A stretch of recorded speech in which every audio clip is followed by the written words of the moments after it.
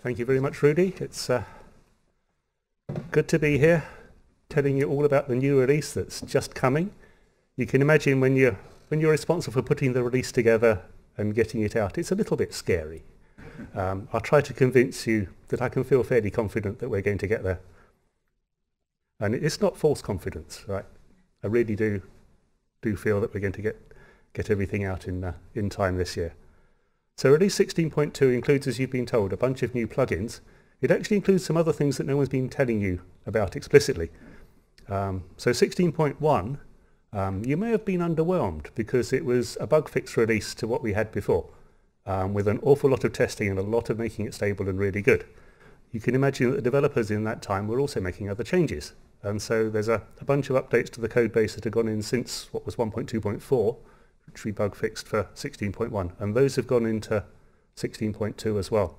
And I'll show you a couple of those. You've, uh, you've actually seen one already in the SmartR talk. Um, a bunch of new plugin features that we're adding.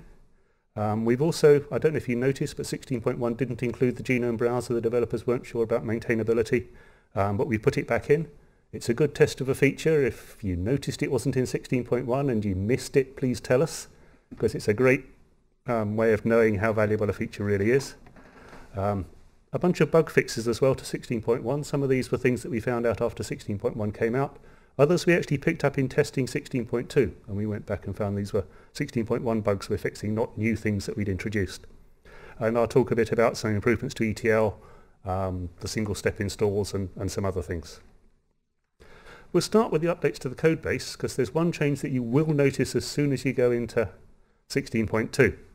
So this is the Analyze tab cohort selection in Transmart all the way through to 16.1. You have subsets 1 and 2 and you have three boxes that you can fill in and you might get more boxes if you, you fill in enough.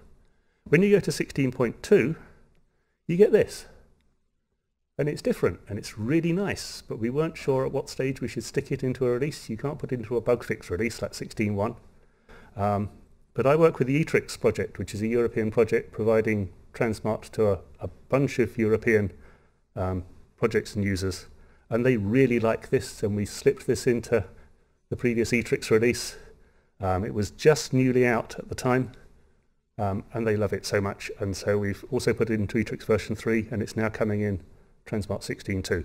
So you drag things into these boxes. Um, you can drag in age and select on age. You can drag in categoricals and select on those. And it just expands as you go. So there's always one empty box at the bottom and it can go on and on and on. I think the old one had a limit of 20, if I recall from looking at the code. I don't think anyone tried 20 variables in cohort selection, but this one just carries on through, and the code has all been updated to work with that. A bunch of things like that. Um, summary statistics have been rewritten under the hood. Um, and it's much cleaner code now. Um, we found some bugs there. Um, it turns out if you don't have summary statistics, it didn't like you. If you give it a breast cancer study, so nobody puts the gender in a breast cancer study because they know the answer for most of them, it didn't like that. So we had to go through and tell the code, you know, if there's no, no gender data, no race data, please just give me nothing like you normally